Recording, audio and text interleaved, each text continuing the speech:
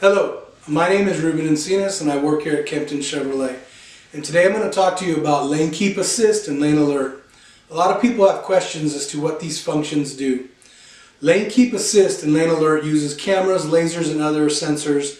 It's in a forward-facing camera that is installed behind the rear view mirror on your vehicle. This is where it scans the road and detects the white and the yellow lines in the lane. Lane Keep Assist operates when you are traveling at approximately 32 miles an hour, and in the event that you start to veer, it will slowly bring you back into your lane. Lane Alert will only alert you by a series of beeping and a flashing lane symbol in your dash cluster, and it will not help you bring you back into the lane. You are also able to turn these functions on or off by just pressing the lane assist button.